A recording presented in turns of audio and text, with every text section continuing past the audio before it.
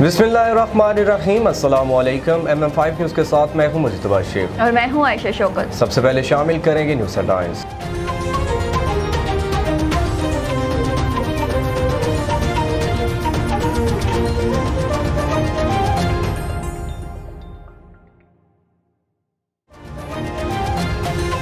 वज़ीर अजम इमरान खान ने ताशकंद में बिज़नेस फोरम से खिताब करते हुए कहा कि पाकिस्तान और उज्बेकिस्तान के दरमियान तारीखी सकाफती ताल्लुक हैं।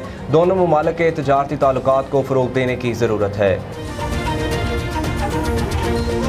वज़ीर खारजा शाह महमूद कुरेशी का उज्बेकिस्तान में मीडिया से गुफ्तु करते हुए कहना था कि हम दो तीन माहदे करने जा रहे हैं, जिससे पाकिस्तान और उज्बेकिस्तान के दरमियान तजारत और आमदोरफ्त में इजाफा होगा। चाहते हैं कि पाकिस्तान के खिते के साथ कनेक्टिविटी बढ़े। यहाँ पाकिस्तान के लिए बेपनाह मौाक़े मौजूद हैं।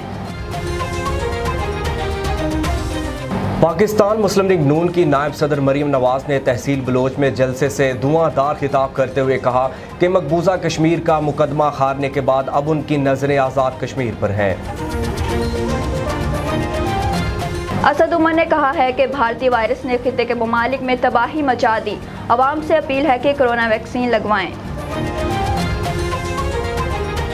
कोरोना वायरस से सैंतालीस अफराद जाँ बहक, जिसके बाद अमवाद की तादाद बाईस हज़ार छः सौ नवासी हो गई। पाकिस्तान में कोरोना के तस्दीक शुदा केसेस की तादाद नौ लाख इक्यासी हज़ार तीन सौ बानवे हो गई। अमेरिका ने अफ़गानिस्तान में अमन के लिए पाकिस्तान के किरदार की तारीफ़ करते हुए कहा है कि दोनों ममालिक महफूज अफ़गानिस्तान चाहते हैं।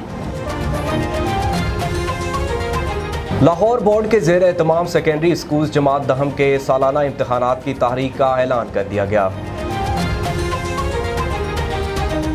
महकमा मौसमियात ने इस्लामाबाद, लाहौर, पिशावर में बारिश की पेशगोई की है। कश्मीर और गिलगित बल्तिस्तान में भी बारिश का इम्कान है।